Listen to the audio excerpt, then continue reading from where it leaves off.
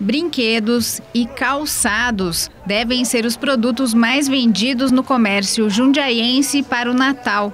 A estimativa é da ACE, Associação Comercial e Empresarial, que realizou uma pesquisa na primeira semana de dezembro.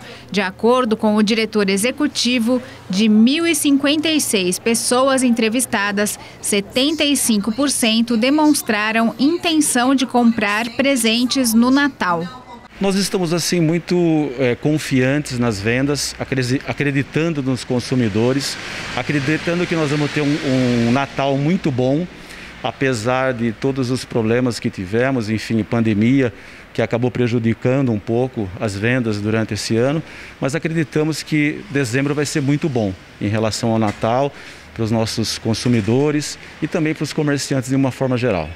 Nesta loja de brinquedos, a líder Graziella conta que os consumidores não deixam de comprar, mas optam pelos itens com preços mais acessíveis.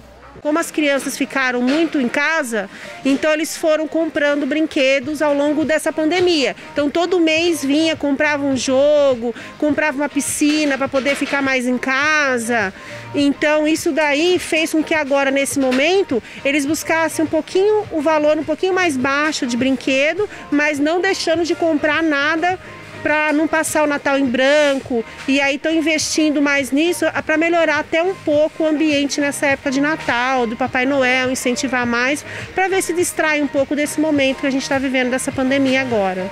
Quem tem criança na família, sejam filhos, netos ou sobrinhos, afirma que pretende sim comprar brinquedos para manter a tradição de presentear os pequenos no Natal.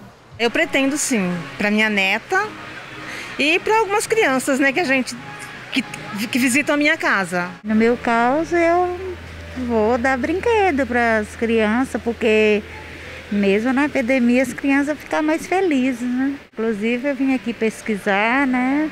Para mim poder estar tá dando uma lembrancinha, porque já acostumou no Natal, né? Então fica já esperando. Vou comprar os mais baratinhos, né? Porque não tá fácil para ninguém.